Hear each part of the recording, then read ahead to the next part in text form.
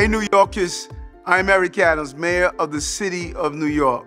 This is the greatest city in the world, but we have a lot of people with a lot of different needs, and it can be a challenge to make the city the best for everyone. We want you to be a part of that work. New York City is leading the charge in fighting climate change, giving young people like you the tools for a great education and preparing you for the green jobs of the present and the future. In every borough, we want to build a clean and green spaces. We want you to build a city for everyone, a city that is safe for folks of different ages, backgrounds, and abilities, a city where New Yorkers can connect and enjoy life. I bet you have ideas on how to make that happen in your neighborhood. And now New York schools are partnering with Minecraft so you can build your ideas and share them.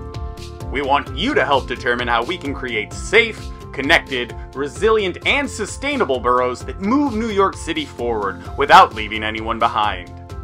You can use any or all of the four focus areas to guide your build, but make sure it's a place to benefit the whole community.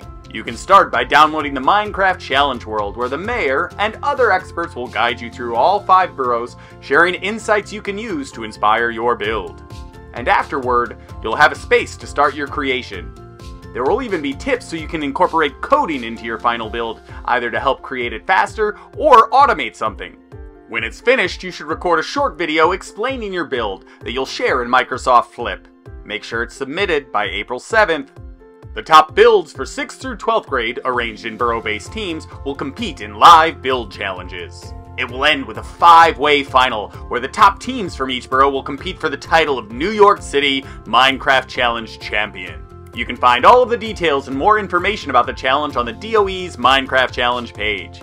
Just head to schools.nyc.gov forward slash Minecraft to get started. It takes all of us working together to get it done, and that includes you. It's your turn to reimagine the city's spaces if New York City is to remain the city we love, we must have great places for the people we love. Together, let's build a city we're all proud to be a part of. Now it's time to get stuff done and get stuff built.